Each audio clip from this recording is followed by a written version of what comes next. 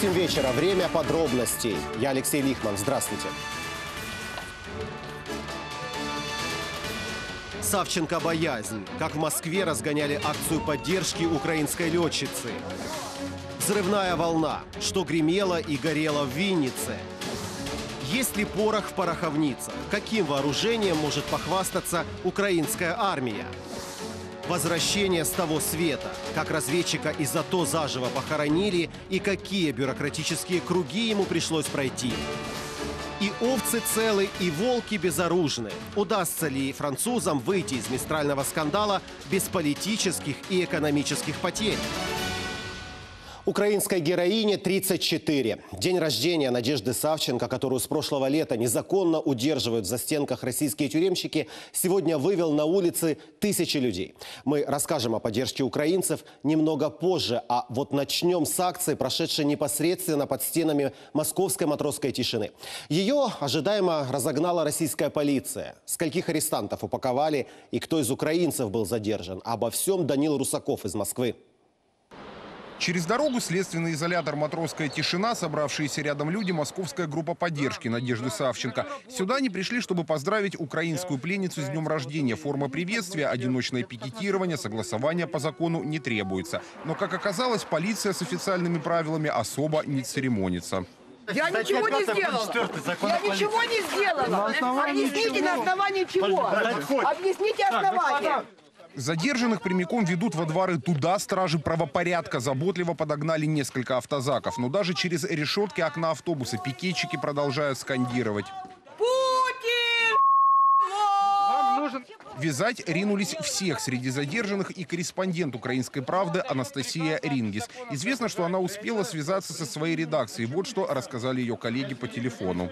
Единственное, что она успела написать, это вот сообщение о том, что ее задержали и везут в СИЗО. Не знаем о причинах задержания. К сожалению, телефон Анастасии сейчас не отвечает. А со, стороны, со своей стороны делаем все возможное. Связались уже со всеми журналистами э, в России, с лидерами российской оппозиции, знает и украинское руководство. Оставшиеся на улице люди тем временем достают плакаты, а некоторые у представителей МВД интересуются, кто станет следующим. Если сейчас да? будет одиночный пикет, допустим, я стану с одиночным пикетом, вы будете меня задерживать? После красноречивого пояснения сотрудника МВД пикетчики начинают спешно выяснять судьбу задержанных товарищей. Их всех повезли в отделение полиции Московского района Сокольники, а люди с плакатами из двора многоэтажки, куда стихийно переместилось все действие, еще долго не расходились. Людям в форме неравнодушные москвичи устроили ликбез. Згинуть наші вороженьки, як роса на сонці. Те, в свою очередь, продолжали молчать. Официальных объяснений причин массового задержания людей, стоящих в одиночных пикетах, до вечера так и не последовало. По словам бывалых протестующих, их, скорее всего, обвинят в нарушении общественного порядка. А это означает, что в результате все могут получить административные аресты. Данил Русаков, Олег Неведомский, Московское бюро, телеканала «Интер».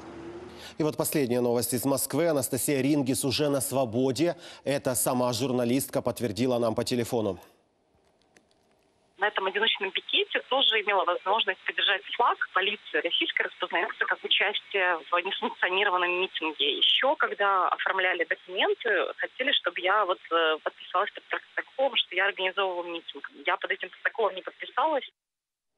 Теперь о том, что желали украинской летчице в Украине и сможет ли сама Надежда Савченко увидеть и услышать все пожелания, расскажет Ольга Рыцарь. Праздновать день рождения Надежды Савченко начали еще в полночь. В Киеве на стене российского посольства с помощью прожектора спроектировали портреты летчицы и надпись «С днем рождения». А уже сегодня в полдень люди собрались поддержать и поздравить ее на Майдане. Надя, мы с тобой! В центре Киева развернули плакат поздравления, дарили цветы вместо Надежды ее сестре Вере. Она делится последними новостями. Зараз почали до неї прибігати е, слідчі і прокурори. І, ну, разом з адвокатами працювати по е, свідченням тим, які надали хлопці з батальйону Айдар, які потрапили з нею в полон. Саме ті хлопці зробили багато для того, щоб були докази невинності. А вот эта очередь к альбому. В нем писали слова поддержки. За считанные минуты все страницы заполнены.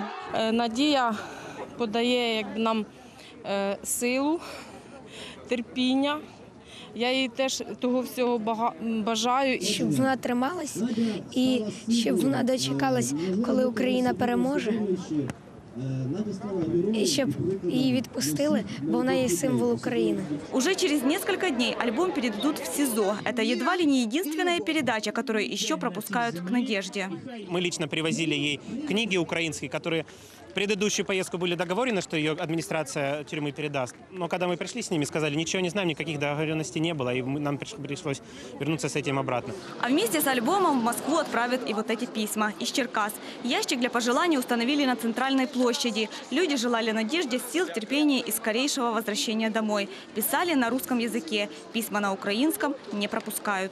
Пишу Наде, чтобы она больше не голодала, потому что она нам нужна живая. Вот. И, ну, как она, как говорится, олицетворение борьбы украинского народа за свободу. Ну и чтобы она, ну пусть держится, потому что мы все с ней. Жители Харькова в поддержку Надежды устроили шествие от центральной площади до российского консульства. Здание окружил кордон милиции, но прорвать его люди не пытались. Харків теж за українську Надю Савченка. Ми всі, всіх націй люди, ми тут підтримуємо Україну і підтримуємо українських героїв. Ольга Рыцарь, Станислав Кухарчук, Лидия Калинина, Владимир Самченко. Подробности телеканал Интер. А Петр Порошенко сегодня заявил, что прилагает все усилия для освобождения Савченко из плена и добавил в своем блоге на Фейсбуке, что пример Надежды доказывает, что и один в поле воин, способный противостоять целому агрессивному государству. Вот способна ли наша армия противостоять агрессору, сегодня уже президенту демонстрировала украинская оборонка. Свезли все лучшее, что есть на полигон под Черниговом. Оттуда вернулась Елена Митясова. Что же увидела, мощь или немощь украинской армии? Все лучшее, что есть на вооружении украинской армии, сегодня привезли сюда, на полигон воинской части Десна. Это под Черниговом. Здесь и бронемашины, и ракетные комплексы. Для последних особое место. Системы умные с самонаведением. Робиться постріл з пушки, лягає на луч, який спускає системне управління. Ну, оператор слідкує за ціллю, нерухома. Якщо нерухомо наведена, вже ціль пішла. Якщо ціль рухається, є рычаги управління, якими керує, веде за ціллю. А вот и кортеж президента. Петр Порошенко лично осматривает украинское вооружение. У бронемобиля с патриотическим названием «Казак» задерживается подольше. Машина «Зверь». Всего одна такая на вооружении Нацгвардии. Ну, Не только то, что у нас многослойные полы, которые ловят оскол, но и специально разработанные сиденья. Как вы видите, они крепятся к потолку.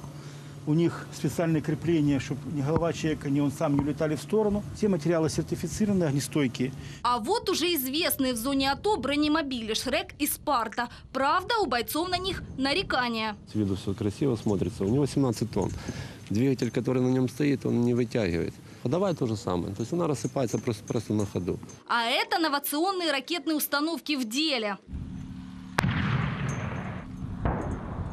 Все эти образцы военной техники украинского производства, включая комплектующие. Ще вісім місяців тому в Україні була залежність від, в тому числі російських комплектуючих, близько 30 тисяч різних номенклатур. Сьогодні більше ніж 11 тисяч одиниць вже виробляються в Україні. Вирос спрос на українську оборонку і за рубежом. Ми на сьогоднішній день, дякуючи цьому експорту, маємо можливість закупляти найсучасніші комплектуючі. І мене абсолютно не засмучує, що Укроборонпром війшов в десятку експортерів зброї в світі. Новационные системы управления огнем уже через две недели будут на передовой, говорит президент. И напоминает, Украина настаивает на соблюдении минских договоренностей. Боевики должны отвести тяжелую технику и прекратить огонь. Елена Митясова, Сергей Коваль. Подробности телеканал Интер. Боевики в который раз продемонстрировали свое отношение к минским договоренностям. Новые обстрелы в зоне АТО и снова из запрещенного оружия. О ситуации на самых неспокойных участках далее в материале Вениамина Трубачева. День рождения – грустный праздник, особенно на передовой. Сегодня именины у бойца с позывным «Маклер», и вместо праздничного застолья на гражданке у него боевое дежурство на блокпосту і обстріли. Вони не стріляють прямо по нам, вони отак от навколо обстрілюють, таких от, щоб провокують, провокують скажімо так, як провокації прямих таких, щоб іменно прямих по блокпосту пострілів не було. Отак от в околиці, зліва, справа, прямо сзаду. Боец говорит, отмечать будет уже дома, когда вернется. А сейчас все готовятся к наступлению темноты. Здесь, в Авдеевке, боевики обычно активизируются в ночное время. Вночі підбираються звітом от з посадки з залізної дороги, обстрілюють. Тобто це кожну ніч, так? Ну, майже кожну ніч, так, майже кожну ніч. Наскільки це інтенсивні такі обстріли? Воно не інтенсивне, це є поодиночні, але регулярні. В городе работают магазины, аптеки и коксохимический завод, но людей на улицах мало. Все еще стреляют и по жилым кварталам, хоть и не так интенсивно, как раньше. В Авдеевке относительно тихо, вот на окраинах города слышны взрывы. Это боевики обстреливают позиции украинских войск, в основном используют минометы, в том числе и запрещенные мирными соглашениями 120-миллиметровые орудия. На этом участке фронта боевики перешли к партизанской тактике. Подбираются, ставят растяжки и быстро уходят. В такие смертоносные ловушки попадают не только военные, но и местные жители. Повертався чи з роботи, перейшов е, в залізну колію. Ну ми ж не будемо самі собі ставити розтяжки, розумієте? От. На залізній колії переходив перехід і підірвався на розтяжці терористів. От і все. Чи на зеленці. Ми самі там ходимо.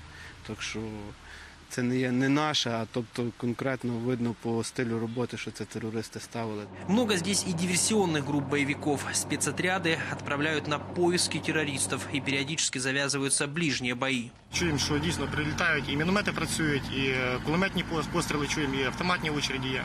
Працює міномет е, 72 мм, о, якби поодинокі вистріли, е, від, от як зараз, як чуєте. О. Тобто постійно так, да? Постійно там з інтервалом в 20-30 хвилин. Военные, как и местные, надеются, что взрывы прекратятся и в ближайшее время установится прочный мир. Вениамин Трубачев, Сергей Дубинин и Анатолий Воробей. Подробности телеканал Интер, Донецкая область. Вениамин Трубачев уже с нами на связи. Веня, здравствуй. Э, Что сейчас происходит в зоне АТО и какие населенные пункты обстреливали сегодня боевики?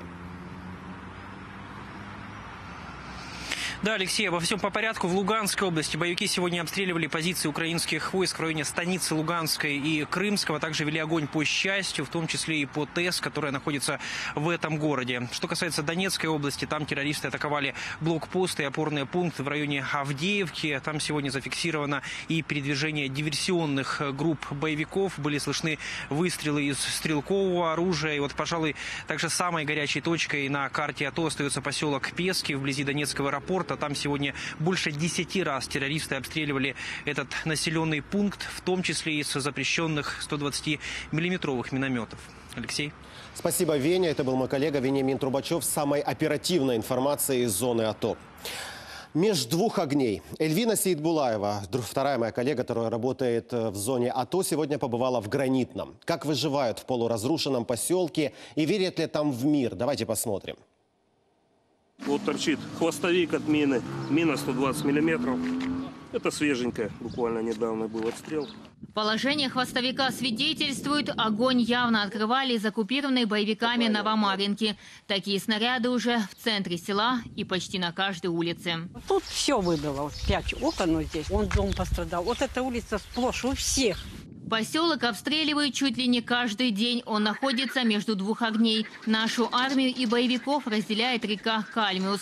Гранитное – это крайнее село, которое контролируют украинские военные. Наш прапор ну 600 метрів, 700 метрів від нас. Як ми перевішали, то на другий день були чутно взриви. Ну, ми ставимо сюрпризами, щоб не знімали. Наши солдаты берегут флаг, как зеницу ока. Подходим к нему только в сопровождении наших бойцов. Здесь вообще нежелательно долго находиться. Работают снайпера. Обстреливают, стрелковым оружием обстреливают, минометами обстреливают. Последнее время, ну, вообще, просто по селу стреляют. Даже не по позициям, а именно по селу. Местных жителей это уже не пугает. Здесь остались те, кому просто некуда бежать. С начала войны Александр приехал в село из оккупированного боевиками Тельманова. Хоть рыбой питаемся. Ни работы нема у нас, ничего. Ни света нема. Вот так и выживаем. Речка спасает нас. До войны в селе жили почти 4 тысячи человек. Сейчас вдвое меньше. Люди хотят вернуться домой, но только не под обстрелы. Эльвина Сидбулаева, Игорь Сули, Владимир Дедов, Игорь Щепет. Подробности телеканал Интер. И самые последние новости из сектора М Эльвина Сеидбулаева расскажет нам прямо сейчас. Эля, здравствуй, мы тебя внимательно слушаем. Здравствуй, Леша. В эпицентре противостояния остается поселок Широкино. В течение дня его обстреливали шесть раз. Если днем использовали стрелковое оружие, то вечером перешли на запрещенный Минским договоренностям 122-миллиметровый калибр. Под огонь боевиков попали наши позиции недалеко от Чермалыка. Продолжает работать и вражеская воздушная разведка. Украинские военные заметили ее в районе села Толоковка. А вот в Мариуполе состоялась акция в честь дня рождения украинской летчицы Надежды Савченко Савченко. Люди пришли с плакатами, национальной символикой. Приготовили открытки и видеообращения со словами поддержки. Вот это у меня вся информация, Леша. Спасибо тебе за нее, Элечка. Это была Эльвина Сеидбулаева. Она продолжает работать на Мариупольском направлении. Заживо похоронен. Разведчик из АТО по ошибке попал в списки убитых. Как так получилось и почему для того, чтобы числиться уже в живых, нашим ребятам приходится пройти все круги бюрократического ада? Разбирались мои коллеги. Мобилизован весной прошлого года. С августа Евгений уже в зоне АТО. Фамилию не называет, лицо закрывает балаклавой. Он разведчик. Публичность уставом запрещена.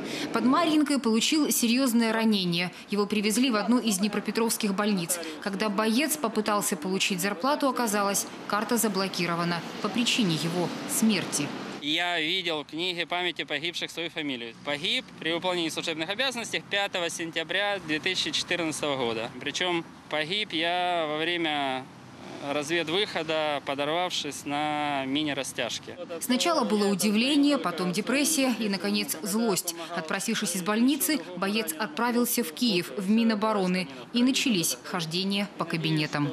Сначала Э, в управління кадрової політики. Сказали, хорошо, ми вам перезвонимо. Перезванюють, говорять, ні, вам не до нас, вам в головне управління по персоналу. Ні, вам у департамент по роботі з особовим складом. І в управлінні розвідки тільки змогли єдине, чим мені допомогти, засвидетельствовали, що я стою перед ними живой. Этот случай не единичный, утверждают волонтеры. Ошибки в списках, неточная идентификация личности иногда доходит до абсурда. Пока живой боец лежит в больнице, его семье приносят похоронку. Был случай, когда 23-летнего бойца дважды объявляли двухсотым. Э, поступив в больницу, он первым делом попросил телефон. Он попросил для того, чтобы позвонить родителям и успокоить. Потому что первый раз двухсотым его объявили в части. Второй раз э, двухсотым его посчитали его сослуживцы. Последний год юрист Юлия Пашковская занимается тем, что отстаивает права военных. За это время только в ее практике не менее десятка живых бойцов, ошибочно признанных погибшими Кто-то, возможно, из э, бойцов других видел, как парня ранили и, наверное, сказал, что он погиб. А надлежащим образом служебное расследование проведено не было. В части, где числится Евгений, ситуацию не комментируют. Известно, что там все же начали расследование. В Генштабе отвечают лаконично. Особа бойця та місію перебування встановлено. Він наразі знаходиться у списках військової частини. Е, питання щодо е, виплати заробітної плати військовослужбовцям за ті місяці його служби, з які він її не отримав, зараз наразі вирішується. В случае с Евгением помогла шумиха в соцсетях, иначе еще долго пришлось бы доказывать, что он живой. Впрочем, до сих пор непонятно, на каком именно этапе и кто его похоронил.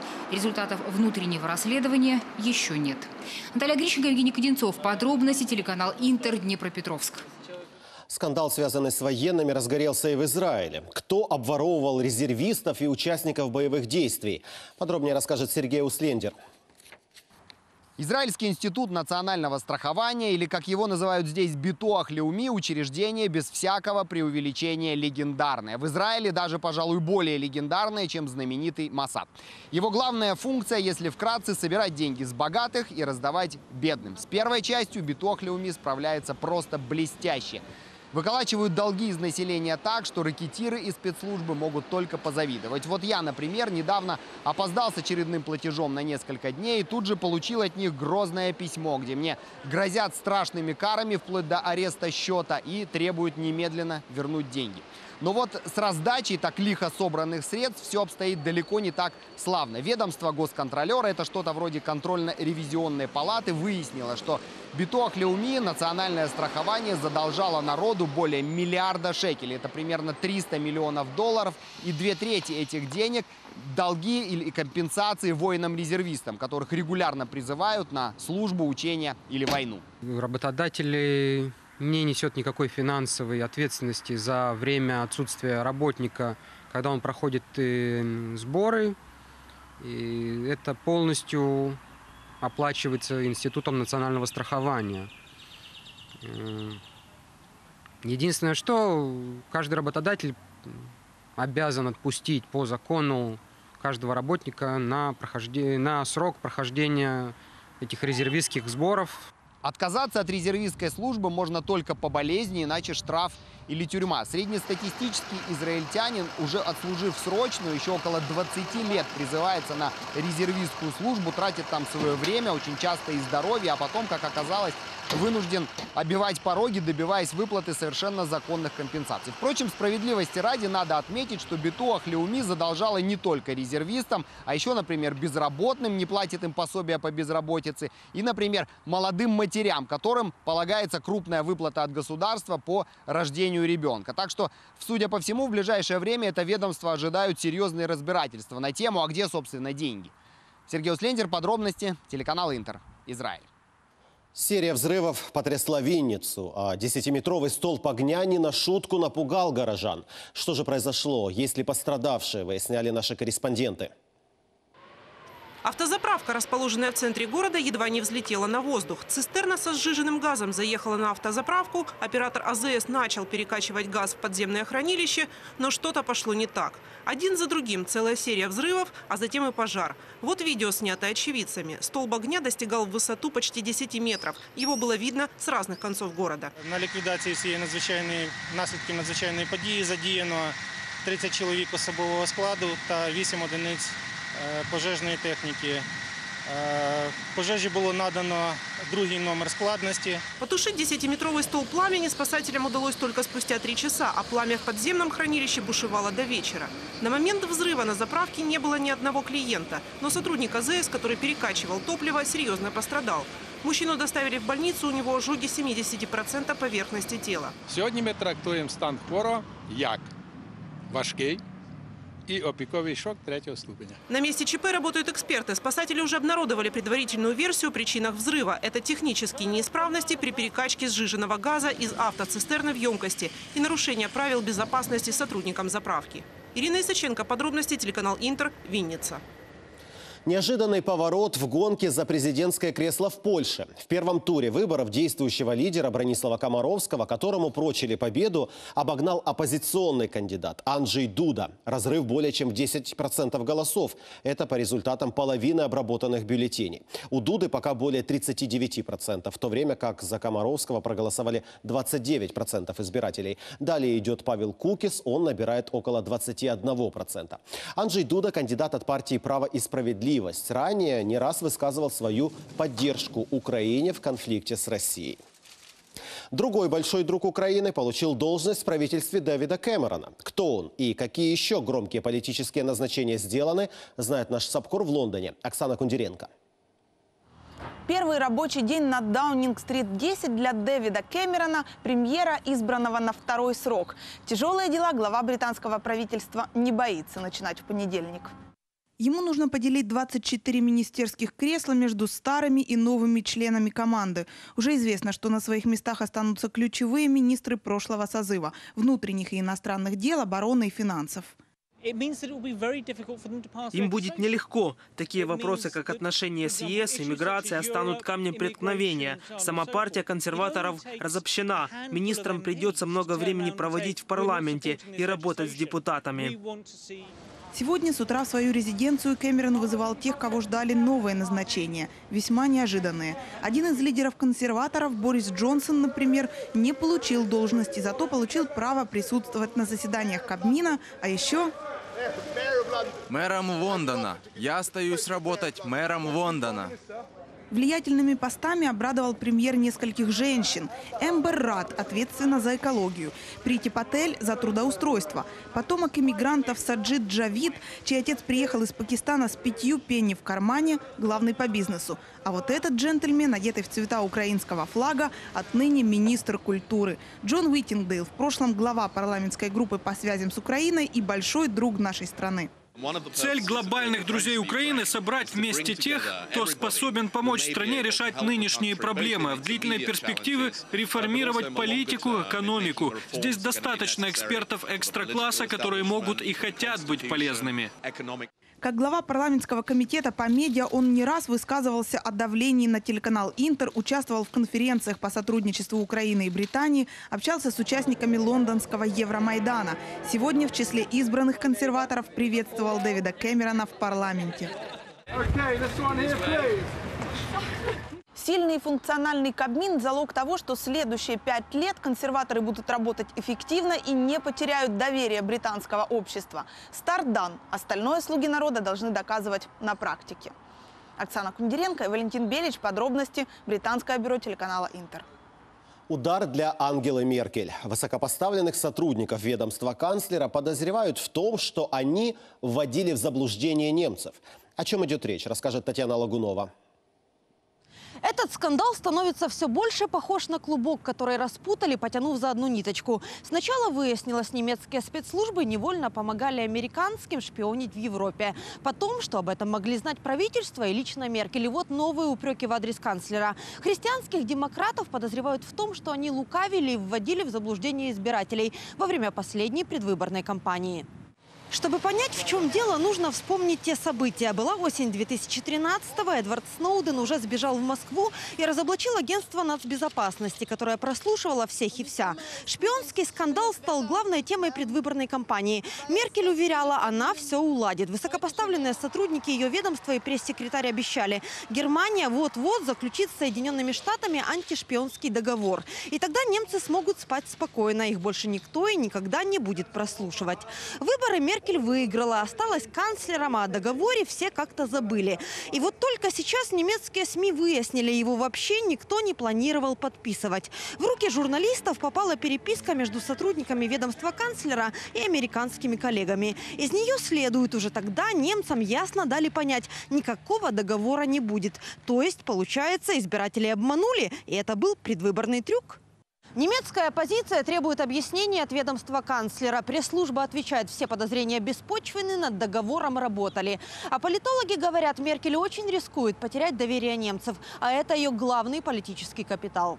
Татьяна Лугунова, Геннадий Аникеенко. Подробности немецкое бюро телеканала «Интер». Не нужен им берег российский. Париж, похоже, придумал, как мог бы пристроить Мистрали. Да так, чтобы и Франция осталась при миллиардах, и Россия без вертолетоносцев. Дадут ли им это сделать? Разбиралась София Гордиенко. Пока это только слухи, их источником является даже не китайская пресса, а тайваньское прокитайское издание One China Times. Мол, Париж может предложить Пекину приобрести Мистрали – но кому, собственно, еще? У Поднебесной есть средства и водные территории. Большинство международных агентств новость перепечатывают с удовольствием. Особенно французы. Ведь рабочие судоверфи могут получить свои деньги, а Мистрали не нужно будет содержать. Все в выигрыше, если бы не одно «но». Журналисты ежедневника «Лезехос» обратились в Министерство обороны Франции, где им четко разъяснили, у ЕС эмбарго на поставки оружия и военной техники Китаю с далекого 1989 года, со времен событий на площади Тяньмэнь, когда военные разогнали студенческие манифестации с применением оружия. Во время того пекинского Майдана погибли сотни, если не тысячи людей, была введена жесткая цензура, и страна утвердилась в диктатуре. Запад объявил поднебесной обструкцию. Спустя десятилетия отношения несколько улучшились, но осадок, то есть эмбарго, осталось. Так что чисто юридически отдать военные корабли именно Китаю нельзя. А поэтому Мистрали пока остаются во Франции, как и головная боль, куда их девать. София Горденко, Василий Трушковский. Подробности Европейское бюро телеканала «Интер». Новый проект Интера, документальный фильм «Аэропорт», только что презентовали в кинотеатре «Украина». Проект уникальный. Чем уже знает Татьяна Винникова, она побывала на допремьерном показе. Таня, здравствуй. Так о чем же лента? Добрый вечер, Алексей. Допремьерный показ документального фильма «Аэропорт» только что закончился. Зал кинотеатра «Украина» был полон. Бойцы АТО, представители власти, дипломаты. Пришел и президент Петр Порошенко с супругой. Могу сказать, что это по-настоящему уникальный проект. В его центре свидетельство полковника спецназначения а, с прозвищем, э, простите, с позывным «Редут», других бойцов и волонтеров. А вот что еще важно, э, там эксклюзивные видеоматериалы э, военных корреспондентов, моих коллег из подробностей. Вот что говорят инициаторы создания фильма. Стрічка була створена е, в дуже стислий термін за 5 тижнів, тому жодних коштів е, державних бюджетних на неї не пішло. Були об'єднані зусилля військових, е, журналістів, телевізійників, е, е, дизайнерів, волонтерів. Зараз прийшов час, щоб Україна пізнала нових справжніх українських героїв. Це тільки перший фільм з серії, і ми сподіваємося, що в принципі і телеканали, і продюсерські студії підхоплять цю ініціативу.